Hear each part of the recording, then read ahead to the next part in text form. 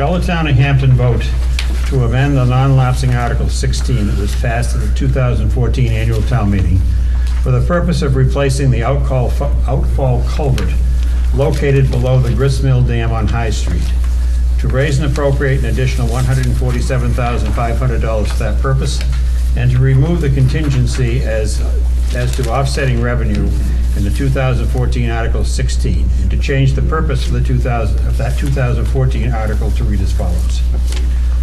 For the purpose of replacing the outfall culvert located below the Grist Mill Dam on High Street, to prevent flooding of High Street, and to perform a drainage study of Meadow Pond, and to assist in obtaining state and federal funding for these projects, and to authorize the Board of Selectmen to apply for, accept, and expend for such purpose any funds from the state of New Hampshire, the federal government, and any private source as may become available. Note that the that $235,000 has already been raised from taxes to complete this project, and to raise the appropriate uh, appropriation, the sum of 147,500 that was originally to be provided by the state, which is no longer available, to fund that said sum, with the sum of $73,750, one half of the $147,500, to come from the unassigned fund balance, a fund containing unexpended appropriations from prior years as of December 31st, 2015, and the sum of $73,750, one half of the sum of the $147,500, will be raised from taxation. The non-lapsing deadline in the original article remains the same. This shall be a non-lapsing appropriation per RSA 32:7 Roman 6, and shall not lapse until the completion of the culvert and replacement of the drainage study has been completed by- or by March 31st, 2018, whichever is sooner, majority vote required.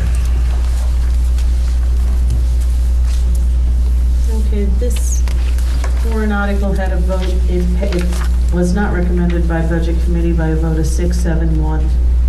And anyone wishing to speak, Mary Louise? Good evening, ladies and gentlemen.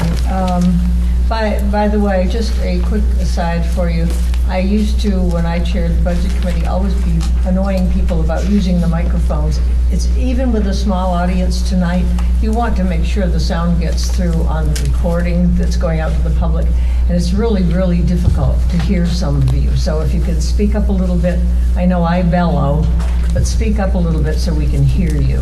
I'm opposed to Article 20, and I will tell you why. It has several problems that I can identify. The idea of replacing the High Street culvert came up in conjunction with decommissioning the Grist Mill Dam, uh, which was voted on but never accomplished. Uh, Now, the Grist Mill uh, Dam replacement is out for a study, uh, engineering study and bid.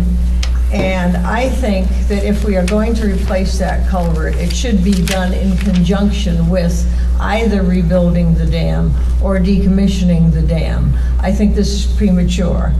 Uh, I think that the, uh, I live in the area, and I think that the wa- road has not flooded out yet. It is consistent flooding down there, but it has not gone yet. And I'd rather wait. I think a drainage study is more appropriate in concert with planning the dam uh, pro- process. Um, So I think this is, is not, not something that I'm comfortable with. I don't like doing the appropriations in pieces, and I object to all of the articles that want to take half of the money or all of the money from the unassigned fund balance.